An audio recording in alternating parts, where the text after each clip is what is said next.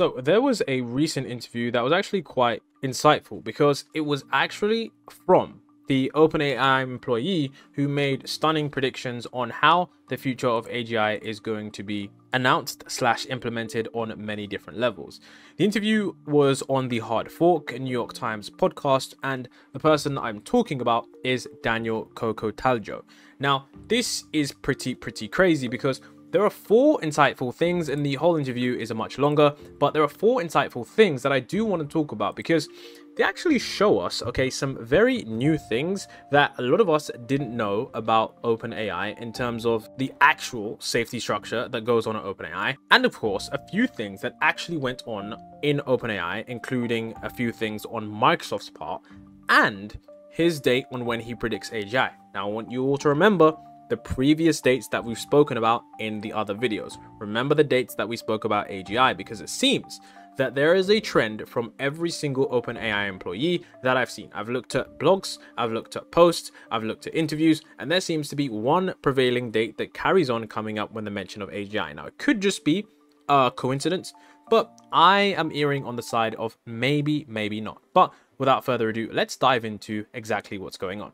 So in this first clip here, basically, surprisingly, he actually talks about something that I didn't even know happened, okay? And this is like breaking news kind of. Basically, he talks about how Microsoft, the kind of safety internal team that they had, they were supposed to basically approve Microsoft's release of GPT-4 to, I guess you could say, a part of India or somewhere in India. And apparently, Microsoft just went ahead and they just released it, which was crazy. So take a look at this because I couldn't believe this. Like if someone, like if I saw this on a forum, I would have been like, ah, it's probably not true. But uh, as someone who's working on uh, OpenAI, I, th I, think you know taking this at face value that is pretty pretty crazy.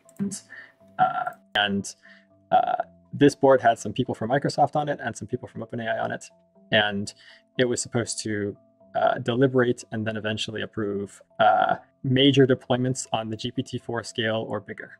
So it, it had been set up prior to reaching the GPT-4 scale, but it was set up with the expectation that once we hit that level and thereon, uh, it would be something that would gate deployments.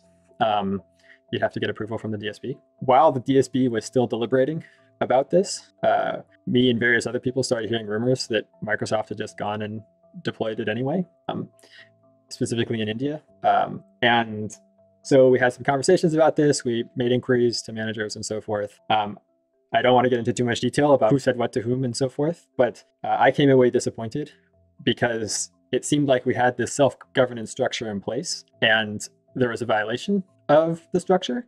And rather than, you know, holding Microsoft accountable for doing this, we were uh, we were afraid to damage our relationship with Microsoft, given the sensitivities involved. You know, they have all this compute. We're trying to. So there we have it, ladies and gentlemen. This is, you know, a shocking revelation on the fact that, you know, a lot of people were suggesting that Microsoft's partnership with OpenAI was in fact going to, you know, I guess you could say contend with the safety people. And you could see here that there was a clear safety agreement that they were supposed to get approval before pushing the model out for public release. However, this didn't happen. So this kind of, you know, uh, oversight by the safety board that didn't happen is it's pretty, pretty remarkable that this you know, kind of happened. And it's definitely a revelation that, you know, considering all the things that have happened at OpenAI, maybe it didn't shock me entirely, but it definitely did surprise me to the extent that I think that, you know, a lot of people do think that, you know, every single human being and every single organization is just strict, you know, military style professionals that would never make a wrong mistake. But at the time, it's humans who make mistakes and who have incentives and who maybe sometimes are greedy. And what we can see here is that in action, that humans are, you know, these flawed creatures. And just because it's Microsoft, it doesn't mean that they might rush out a product if they believe it's going to advance their company's efforts, which, you know, in, in this area, I think is a little bit, you know, telling for the future of how things might be. Now, of course, I think in the future with, you know, nationalization of OpenAI, something that has been recently predicted, considering the fact that they recently did just hire someone who worked at the NSA for a very long period of time. But overall, I think this is pretty, pretty crazy. Now, another thing that he goes on here, and this is pretty crazy because I thought, okay, and this is where he talks about Ilya Sutskever and the culture of work after the coup. And basically he says that after the Ilya Sutskever coup, there was this entire culture at OpenAI that was basically FU safety people. That is crazy. Like, I would have thought that the safety people would be some of the most respected in the company, but it seems like after that, there was this entire thing that kind of uh, just was just strange, I guess. After Ilya Sutskever and Helen Toner and Dash, like after that whole fight, it was like, oh man, this, things have sort of polarized. Like, I don't think that we're going to like talk it out and and and pivot. Um, and then also just sort of on a personal level, I think there was a lot of anger directed at uh, sort of safety people such as myself, uh, because the, the perception was that uh, that the old board was being dishonest and that they they didn't really fire Sam because he was uh, insufficiently candid towards them, but rather they fired him because they wanted to slow down and he didn't, and they needed an excuse. Um, so so I think that as a result, So yeah, that was uh, something that was pretty telling after Ilya Sutskever left. I'm not surprised that the culture around the work actually did change, but considering that there was this entire culture around safety people, that was one that was surprising. But considering the fact that, you know, now looking at the fact that the super alignment team has now disbanded, OpenAI basically, maybe not disbanded the team entirely, but they did actually get rid of the team. Maybe it's like, whoa, what on earth was going on at the internal workings? Maybe this is part of the reason that Jan Leike left. Maybe the reason that, you know, considering the fact that some of the researchers, when we actually think about what occurred, some of them were actually even fired.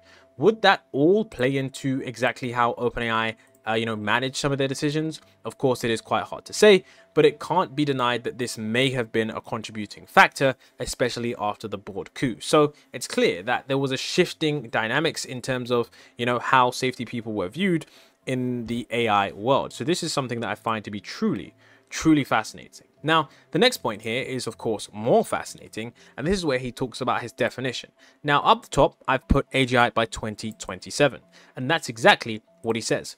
2027, ladies and gentlemen, is the same timeline slash year that I've heard from pretty much every, you know, available source. Of course, people like Sam Altman have said that, you know, five to 10 years. I think he's become a little bit more conservative considering the fact that, you know, we're of course going to have to, you know, get the, the, the hardware side built out in terms of the compute aspect of things but I think that it's kind of interesting that all OpenAI employees are predicting such short timelines for monumentally transformative technology. I think that publicly available information about the capabilities of these models and the progress that's been happening over the last four years is already enough to make extrapolations and say, holy cow, it seems like we could get to AGI, you know, in 2027 or so or sooner. Um, you don't need any secrets to be able to make that inference. And then for the second thing about like, is this a big deal? Is this really dangerous? Again, you don't need any specific secret. So yeah, he said just even looking at public publicly available information, not even looking at things that are really, you know, private, you can kind of see that 2027 is going to be the year when AGI potentially gets here. To make extrapolations and say, holy cow, it seems like we could get to AGI you know, in 2027 or so in the labs in secret.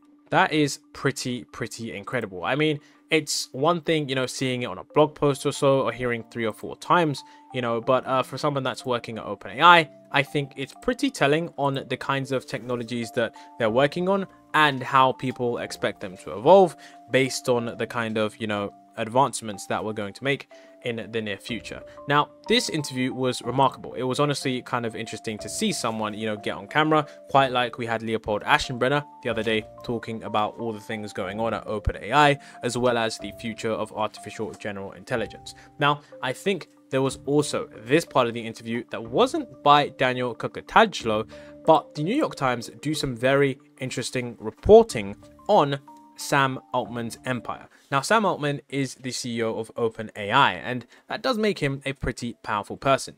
But what if I were to tell you that this might actually extend into a further slash different area to where Sam Altman could potentially be the most powerful man in the world? Now, that might sound like an exaggeration, but listen to what they state first, because what they state first is true and it's insightful. And I'm not saying that being the most powerful man in the world is a crazy thing or a bad thing, but I'm just saying that I think it brings up a very, very interesting question with as to what are Sam Altman's motives for the moves that he is making in the AI industry. what this is about for Sam Altman, right? Because this is a person who is already rich. But if he has a piece of all the biggest and most important companies in AI, then if you fast forward to the time period that Daniel's worried about when AGI is arriving, one person is going to have a staggering amount of power in that universe, right? He will be the CEO of OpenAI, and he will be a major shareholder of many of the most important companies in the space. Why do I bring this up? In that kind of world, you want to know who is this person and what sort of governance structures are around him to rein him in, because right now it does seem like we're on trajectory for Sam Altman to be one of the most powerful people in the world. Totally. So yeah, there we have it, guys. Sam Altman could be one of the most powerful people in the world, and I don't think that that is an overstatement, considering the fact that you're at a company that could potentially be at the helm of AGI, and then of course could have major partnerships with all of the other companies that depend on your technology, which is going to be integral for majority of the software companies. I mean, would you be the, the most powerful man in the world? I mean, I don't think there's going to be something as powerful. Of course, you've got politics, but with artificial superintelligence, that eventually will shift the power dynamics because there's no way to outsmart it. I don't see how he wouldn't be. So let me know what your thoughts on this are. I definitely think that this interview is worth a full watch. Um, I'll leave a link to it in the description. But um, it's pretty insightful. It's pretty insightful that first of all, Microsoft decided to release a model anyways. Second of all, the culture of OpenAI was basically, you know, screw you safety people. And then of course, his prediction on there being AGI by 2027. That is uh, truly, truly remarkable. So let me know what you guys think about that. Um, and I'll see you guys on the next one.